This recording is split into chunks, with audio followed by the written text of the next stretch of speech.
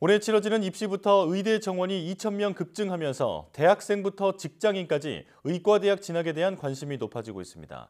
학원들은 반수생을 위한 수업 개설을 앞당기고 직장인이 다닐 수 있는 저녁반을 신설하는 등 입시 업계가 들썩이고 있습니다. 신지원 기자입니다.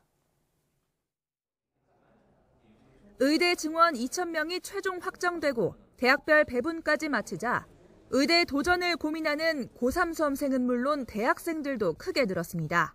특히 상위권 대학의 이공계 학생들은 진지하게 반수를 고려하는 분위기입니다.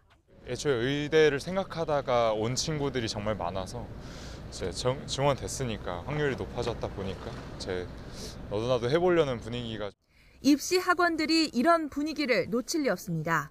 발빠르게 의대 입시를 위한 N수생반을 늘리고 개강 시기도 앞당기는 방안을 검토하는 학원이 많습니다. 아무래도 지금 현재 대학에 재학 중인 재학생들의 반수가 좀 빨라지지 않을까. 그래서 6월 달이나 7월 달에 개설을 하려고 하는 반수반을 네. 빠르면 한 4, 5월 달부터 좀 조기에 앞당길 가능성이 조금 높다.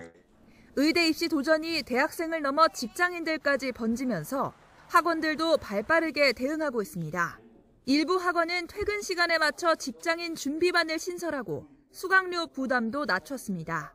공부에 전념할 시간이 상대적으로 적다 보니 당장 올해 합격을 노리기보다 여유를 두고 준비할 수 있는 직장인이 많이 몰렸습니다.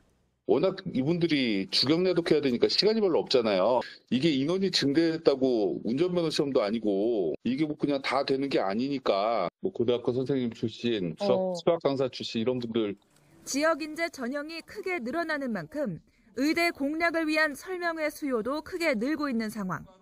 의대 증원 배분 확정과 동시에 입시 학원과는 그 어느 때보다 분주하게 움직이고 있습니다. YTN 신지원입니다.